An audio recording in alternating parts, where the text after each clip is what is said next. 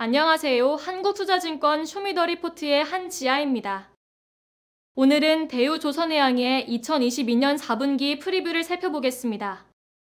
대우조선해양의 2022년 4분기 영업이익은 945억 원 적자로 363억 원의 적자를 내다보는 시장의 기대를 더 크게 하회했습니다. 건조 인력 수급 문제로 인한 공정 지연이 4분기에도 나타난 모습입니다. 매출액이 부족한 가운데 상반기까지 예정 원가를 높인 비수익 고선 위주 건조 선박 믹스로 인해 영업이익은 적자일 것입니다. 이어서 2023년을 살펴보겠습니다. 2023년 매출액과 영업이익 추정치를 기존 대비 각각 18.7%와 34.1% 하향했습니다.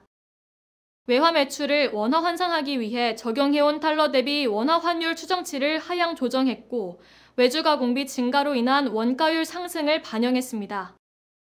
2022년 말 기준 대우조선해양 건조 인력은 19,476명입니다.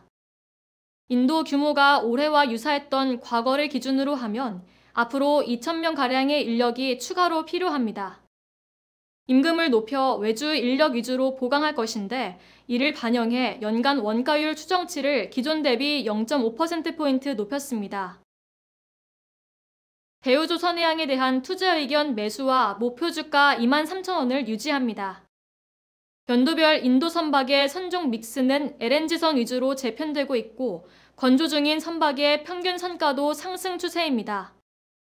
도크와 암벽 해파를 넘어서지 않도록 슬롯을 채웠기 때문에 건조 인력 수급이 원활하면 영업이익률 상승세는 필연적입니다. 증자 이후 하나그룹과의 첫 시너지 분야로 건조 인력 수급 및 건조 공정 효율화를 기대합니다. 오늘 준비한 내용은 여기까지입니다. 자세한 내용은 댓글창에 있는 보고서 링크를 확인하시기 바랍니다.